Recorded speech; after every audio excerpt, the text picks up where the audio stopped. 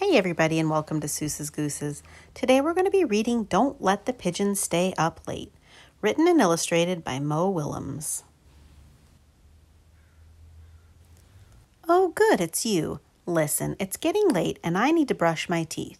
Can you do me a favor? Don't let the pigeon stay up late. Thanks. First of all, I'm not even tired. In fact, I'm in the mood for a hot dog party. What do you say? No? Humph. I hear there's a good show about birds on TV tonight. Should be very educational. How about five more minutes?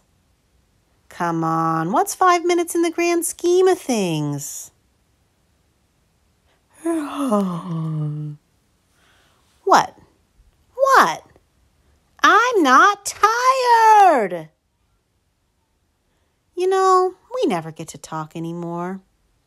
Tell me about your day. Oh, I've got a great idea. We could count the stars. Can I have a glass of water? Studies show that pigeons hardly need any sleep at all. It's the middle of the day in China.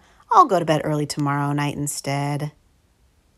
Hey, hey, ho, ho, this here pigeon just won't go. Please. My bunny wants to stay up too. You can't say no to a bunny, can you?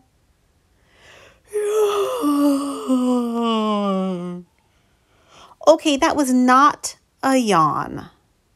I was stretching. I'm 110% awake. You haven't heard the last of me.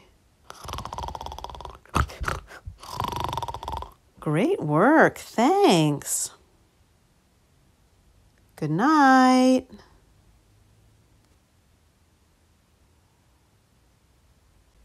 Thanks for watching. Don't forget to like and subscribe. And if you'd like to purchase a copy of the book, check out the link in the description below.